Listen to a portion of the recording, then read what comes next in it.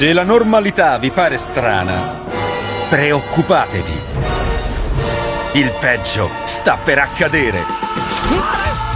E non ci saranno limiti. È il giorno più bello della mia vita! Ha rubato 21 milioni di dollari che spettavano a me. Ciao, è invisibile! Si dice invincibile, non lo sei!